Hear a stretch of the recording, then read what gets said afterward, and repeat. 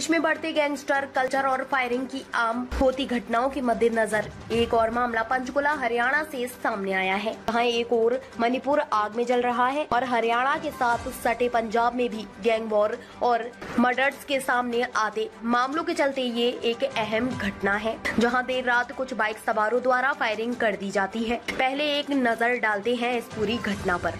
पंचकुला के सेक्टर पाँच में बेदाबार जगह के बाहर कल देर रात को ताबड़तोड़ फायरिंग की गई। बताया जा रहा है कि हमलावर बाइक पर सवार थे, जिनकी पहचान अभी तक नहीं हो सकी है। पास खड़ी एक गाड़ी के शीशे भी इस फायरिंग के दौरान गोली लगने के कारण टूट गई। घटना की सूचना मिलने पर सेक्टर पाँच थाना पुलिस और क्राइम ब्रांच 26 की टीम मौके पर पहुँची। मामले की जाँच शुरू कर दी गई है। हालाँकि हमलावर मौके से फरार हो गई गौरतलब है कि फायरिंग करने वाले उन अज्ञात हमलावरों की तलाश पुलिस द्वारा जारी है।